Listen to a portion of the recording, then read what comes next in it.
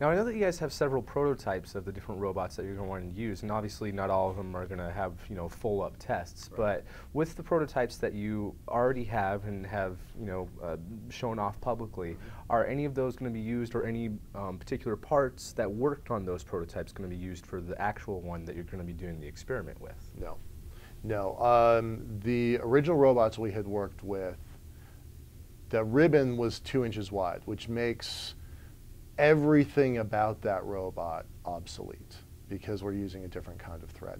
Um, and that's okay. We kind of knew that was, was, was coming.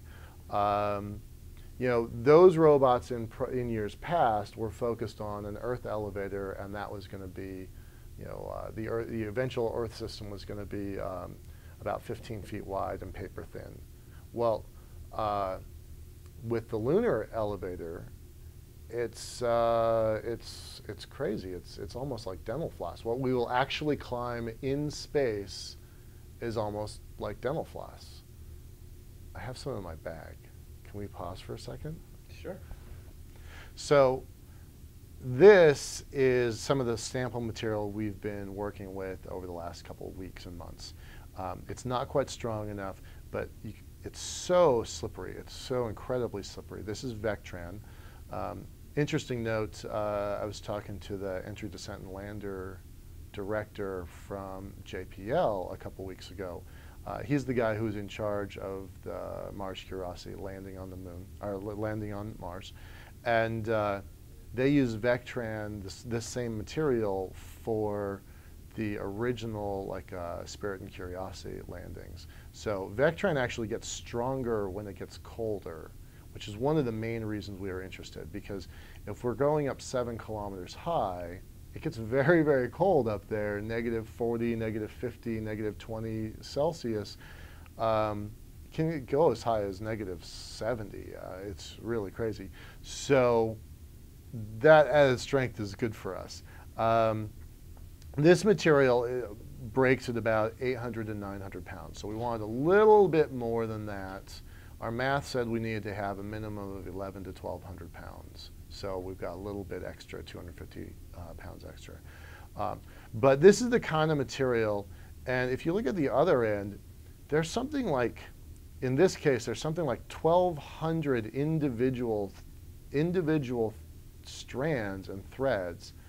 It really is pretty mind-boggling stuff uh, when you start thinking about like what each one of these things can do. You can break one individually, but there's no way you or me could break this. There's no way. But then when we switch to the lunar elevator, this is, uh, this is Zylon. It's even thinner and it's even stronger. This particular Zylon, um, this breaks at about 90, 90 pounds. So this isn't probably enough. But it is going to be something like this. And when we build the lunar elevator, there are so few stresses on it that we might be able to use something in this range. So when I refer to it as dental floss, I really do think we're talking about something a lot like this. Uh, and again, this is harder to see, but there's super, super fine threads in there. Same thing. Um, that this can carry 90 pounds, I mean, that's, uh, you know, that's, my niece doesn't weigh that. Like I could pick my niece up with this. So, um, yeah, pretty, pretty amazing stuff. So that's what we're going to use. And so when we talk about the construction for the elevator itself, our robots, they have to climb this or they have to climb this. And that makes a very, that's a completely different kind of construction. You've got a um, instead of gripping a flat surface like that, um, you've got to, you've got to really I don't know how to describe it with my fingers, but you've got to really grip this thing in a different kind of way. We're using, uh, we're using great big wheels and having the, the string slide around the wheels. So no, we can't use any of the old parts.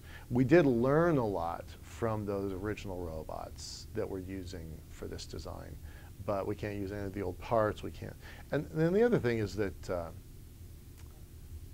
you know, the miniaturization and the efficiencies in the last six years, uh, we can just go and order parts that we had to create from scratch before. So that's pretty nice. And the parts are stronger, better machined, more efficient, and cheaper. So we're pretty happy about some of that. Some of that. That's really good. Now, uh, um, uh, obviously, you're going to be doing the, the, the, testing, you know, here on Earth with the helium balloon. Um, but uh, are you going to be doing any tests like in a vacuum chamber or anything like that to see if there's any unforeseen anomalies or anything like that with the strength of the string? Yeah, the string we're not so worried about. We're really worried about the balloons. If you were to ask me, you, we all we are, we kind of have a pool about what's going to go wrong. Everybody has a different different take on it. I think what's going to happen is that the balloon, as it gets higher, it expands, right? Because the gases are expanding. Um, there's less air pressure.